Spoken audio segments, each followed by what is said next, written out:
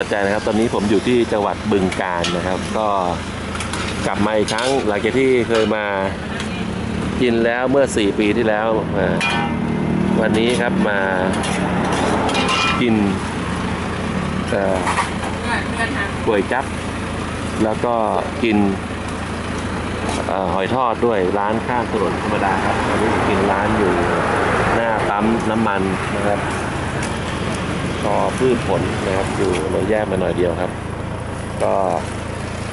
ก๋วยจั๊บกับหอยทอด เพราะว่าผมเห็นหอยทอดแล้วมันดูน่ากินดีครับ ทอดกระทะกระเทอะอย่างนี้นะ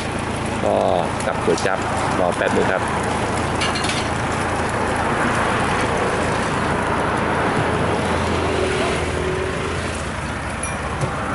อย่างนี้สายสายเอาไม่เอาหมูกรอบนะก๋วยจั๊บเอาเครื่องในอย่างเดียวจ้ะเลือดเอาไหมอ่า เลือดก็ไม่เอาเครื่องในอย่างเดียวพอครับนี่ครับ เดี๋ยวก็รอทานนะครับรอแป๊บหนึงครับก็เอาเต้าหู้ด้วยเต้าหู้ด้วย แล้วก็จะลืมทอดหอยทอดไปเดี๋ยวไม่ไม่กรอบหอยทอดหอยทอดหนึ่งไว้ถ้าไม่กรอบนะนะครับเอาเอาเอากรอบกรอบๆกลัวกลัว บึงการนะครับก็ทีนี้ผมข้าวต้มไก่ก็เข้าไปอยู่ในปั๊มแล้วมิสเตอร์ฮัสเซียครับฟังสำเนียงของชาวบึงการไปด้วย แล้วก็กินผัดไทยไปด้วยครับร้านนี้อยู่หน้าปั๊มน้ำมันชอพืชผลนี่ครับ แต่ผมว่ารู้สึกจะอร่อยนะเพราะทอดกรอบๆแต่ทอดที่เรากรอบๆใหม่ๆชอบหมดแถนะวนี้ก็บ่มีวะเขาเกินอยู่แบบผมใส่น้ำจิ้มครับลงไปครับ น่ากินนะอันนี้ต้องกินสองมือนะ เพราะฉะนั้นเนี่ยผมจะชิมของคำแล้วก็ตั้งกล้องแล้วกันนะครับด้วยขาตั้งกล้องตัวใหม่นะอืมอืมอืมอร่อยนั่งเขาลงไปแบบปั๊มน้ำมันที่จังหวัดมันกรอบรสชาติมันผมชอบ ผมชอบแบบกรอบๆอย่างเนี้ยอร่อยดีครับกินผักกรุบๆชอบทำไมมีกรุบๆหอยหรือเปล่าเนื้อไม่อยากตายครับเรื่อง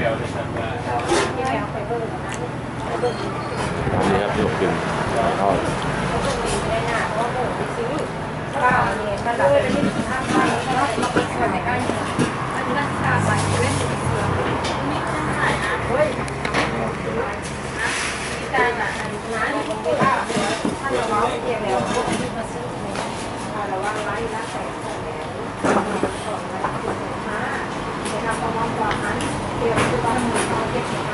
แล้วเราจะกินอะไรหรือว่าทำไมซื้อหรือว่า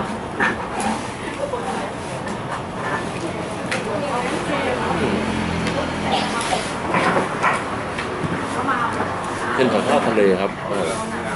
ถ้ามันจะไปไม่ครบเลยนะคะมันไปไม่ครบเราแหวกเจ้าหนังมันที่ แล้วมันมี คนขายไม่อยากบอกว่าตะเกียบจับจับแล้วเอามาได้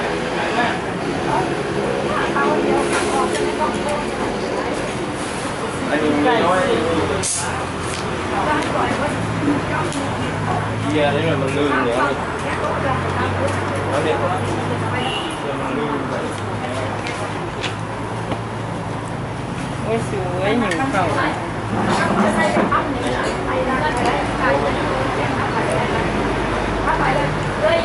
เออไปเลยไปเลยเรียกว่าติดเสือได้ไปซื้อปิ้งไก่เอามาให้มากินนะมันเป็นการพูดของชาบึงการครับคนรถทุกซีคนะนี้ไปต้อนงกลอองงไหมซีเพราะเราไม่เพิ่งอยู่ในยังไม่ต้องเบิร์ดทาแล้วไปลองตามไปแล้วไป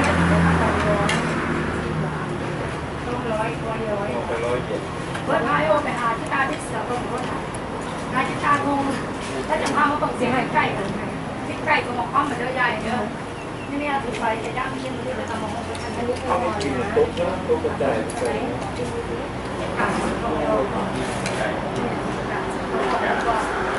เนี่ยอีลีต้องการกันหน่อยครับเดินมาที่นี่เนี่ยแบบด้วยจะเห็นมีอยู่สองแผนที่โต๊ะอะไปซื้อไปเท่าไหร่ก็ซื้ออยู่เอาไป กินไม่เหนียวไอ้มันหมดเขาเป็นจับกินเนี่ยตัวผ้าไปใส่กับไปแล้วก็มีอันนี้ล่ะนะน้ำโขงของหลายตอนแรกเราจะไปน้ำปูนะจะมาเอาตอนแรก ยยิ้วกินอยู่วะยิ้วกินอยู่วะค่ะบ่หิววะก็เดิมไปไม่หมดเลยแม่บ้านนะกี่บาทแปดสิบไปทางนู้นไปเดี๋ยวรวมนะมีน้ำมันลมอันด้วนี้ยได้ไหมร้อยหนึ่งพอดีแม่แป๊บซี่น้ำบอกเจอสี่สิบเนาะ ไปทอดสี่สิบวันหลังก็มาแม่หนูดีตัวจับสี่สิบแล้วก็น้ำอารมณ์ยี่สิบครับเป็นร้อยพอดีเพื่อสะใจกับมิสเตอร์รัสเซียครับ